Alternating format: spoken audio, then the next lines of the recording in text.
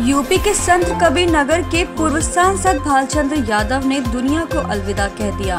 दरअसल लंबी बीमारी से ग्रसित चल रहे थे। पूर्व सांसद भालचंद्र यादव ने वेदांता हॉस्पिटल में आखिरी साँसें ली और उनका बिरहर घाट में अंतिम संस्कार उनके बड़े पुत्र प्रमोद यादव ने किया।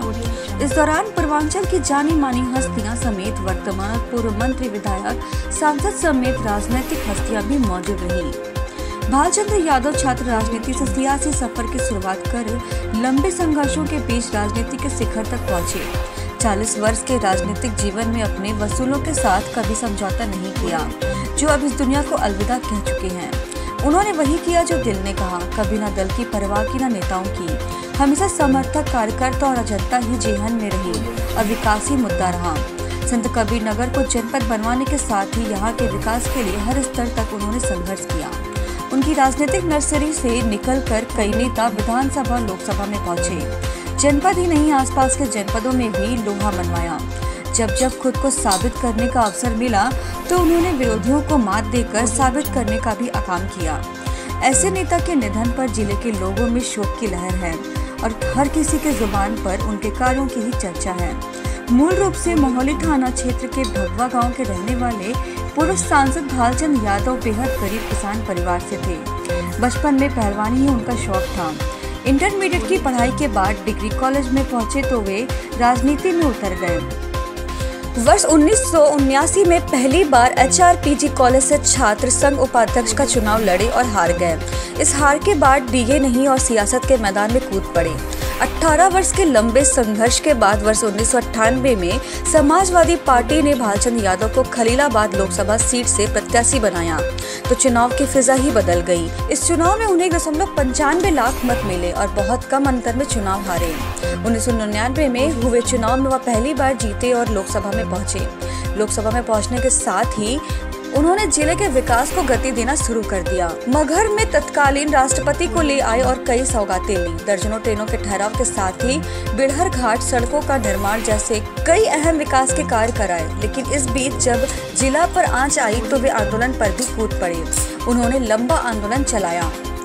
प्रशासन ने जब संत कबीर नगर का ज़िले का दर्जा खत्म किया गया तो इस मुद्दे पर ही पूर्व सांसद ने सपा का साथ छोड़ जनता दल यू का दामन थाम लिया। इस बीच कुछ मुद्दे को लेकर उन्होंने जनता दल यू का भी साथ छोड़ दिया और फिर बसपा में चले गए।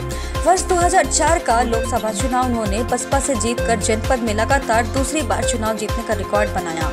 उन्होंने संघर्ष की बदौलत सत कबीर नगर को जिला बनवाकर ही दम लिया। हालाँकि 2007 विधानसभा चुनाव के ठीक पहले जनपद के कुछ मुद्दों को लेकर उन्होंने बसपा का भी साथ छोड़ दिया और सपा में चले गए। 2008 के उपचुनाव में भालचंद यादव ने चुनाव ज़रूर हार गए, लेकिन वोट का प्रतिशत कभी कम नहीं हुआ। सपा में कुछ दिन रहने के बाद उन्होंने कुछ विकास के मुद्दों को लेकर बसपा की सदस्यता ग्रहण कर ली और ज़िले की कई सड़कों का विकास कराया। इस बीच 2010 के पंचायत चुनाव में बसपा ने सिद्धार्थ नगर जनपद भेज दिया।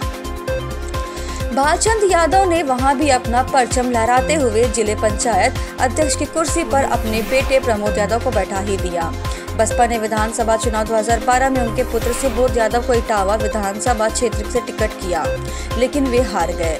इसके बाद भालचंद्र एक बार फिर सपा के साथ आए। सपा में आने के साथ ही जनपद को बीएमएसटी मार्ग की सौगात दिलाई। सपा में आने के साथ ही जनपद को बीएमसीटी मार्ग की सौगात दिलाई। 2014 को लोकसभा चुनाव सपा के टिकट पर लड़ी, लेकिन मोदी लहर में चुनाव हार गए। 2015 पंचायत चुनाव में अपने बेटे और बहू को जिला पंचायत सदस्य बनाया। 2019 के लोकसभा का चुनाव भालचंद्र यादव ने कांग्रेस के टिकट पर लड़ा। समाजवादी पार्टी के राष्ट्रीय अध्यक्ष अखिलेश यादव के निर्देश पर पाँच सदस्यों की टीम संत कबीर नगर पहुंचकर पूर्व सांसद भालचंद्र यादव के अंतिम संस्कार में सम्मिलित हुई। वहीं दूसरी तरफ़ बीजेपी सरकार में स्वतंत्र प्रभारी मंत्री श्री राम चौहान, पूर्व कैबिनेट मंत्री राजकिशोर सिंह, पूर्व मंत्री शंखलाल मांझी समेत जनपद और पूर्वांचल के सांसद विधायक समेत राजनीतिक हस्तियों ने हज़ारों हज़ारों की संख्या में लोग अपने लोकप्रिय नेता के अंत्येष्टि स्थल पर उपस्थित होकर अंतिम विदाई दी। बिल्कुल। कबीर नगर के गरीबे और जुल्मों और शेर पूर्वांचल भालचंद यादव का आज बहुत ही दुखद उनकी मृत्यु हो गई है। इससे संत कबीर नगर के लोग काफ़ी दुखी हैं और आज तक बिड़हर घाट पर ऐतिहासिक इतनी पब्लिक कभी भी किसी के शो में नहीं आई है।